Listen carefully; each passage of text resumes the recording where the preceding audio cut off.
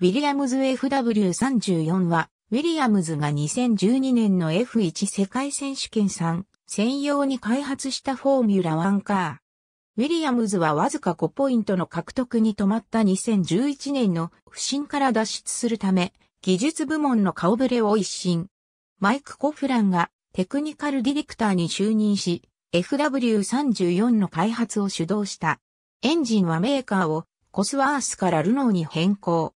チームが最後にタイトルを獲得した1997年以来15年ぶりにウィリアムズ・ルノーが復活した。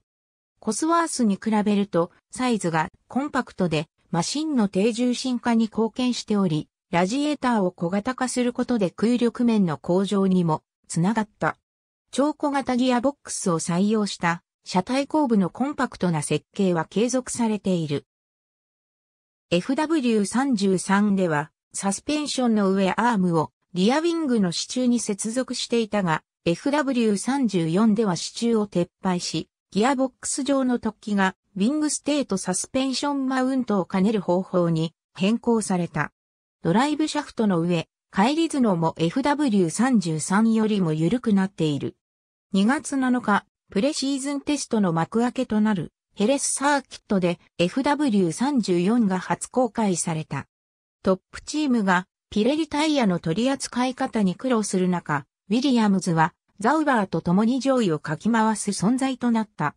第5戦スペイン GP ではパストール・マルドなどがポールポジションを獲得し決勝でも優勝。ウィリアムズに7年半ぶりの優勝をもたらした。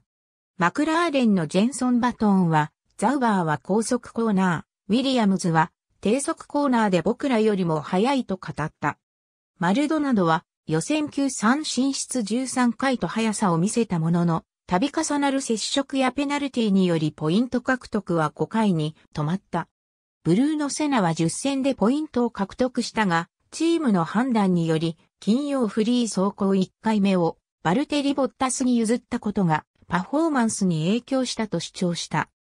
2011年の大不振から復活したものの、前年まで在籍したルーベンス・バリチェロはドライバーの経験不足を指摘し、彼らは少なくとも今のバイオポイントを取れたはずだと思うので残念だと語った。